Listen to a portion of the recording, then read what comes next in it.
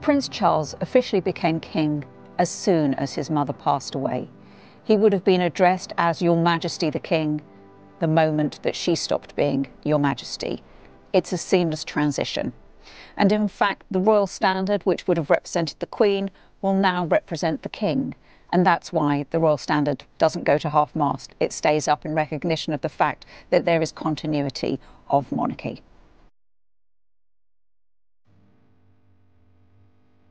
When Charles becomes king, Camilla, his wife, will become the queen consort. There'll also be changes in the titles of other members of the royal family. Prince William will become the Duke of Cornwall and in time will be invested as the Prince of Wales. There's also precedent for changes to the titles of the grandchildren.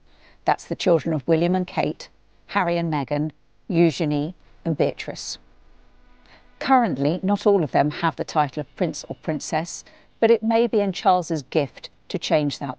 I declare before you all that my whole life, whether it be long or short, shall be devoted to your service and to the service of our great imperial family to which we all belong. Charles's first official duty is to address his new nation, and he'll do that in a televised address. And then the following day, he'll bring together his Accession Council, made up of privy councillors, his advisers, and they will gather and they will formally ratify his position as king. And at the end of that, the heralds will go up onto the roof of St James's Palace, a wonderful medieval palace in London, in their full regalia with their trumpets, and they will proclaim the new king. Over the coming days, the new king will travel to various areas of his realm to meet his new subjects.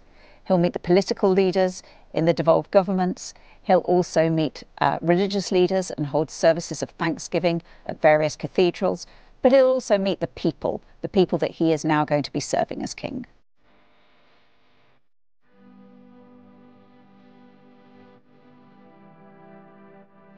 The circumstances in which Charles has found out that he's become king are very different to those when his mother Elizabeth found out that she was taking the throne.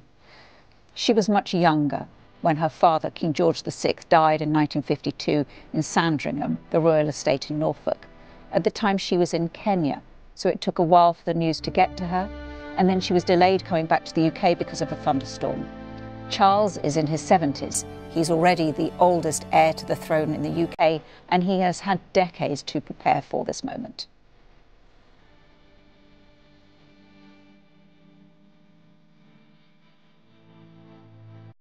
The other senior members of the royal family will be intimately involved in events between the Queen's death and her funeral.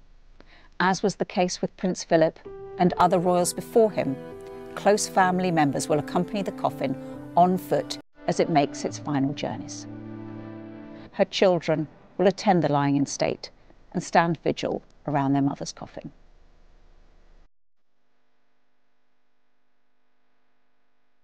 Traditionally, the coronation of the new monarch takes place at least six months after the passing of the old one. This is to allow for an appropriate period of mourning. So we expect the coronation of King Charles to take place within the next year.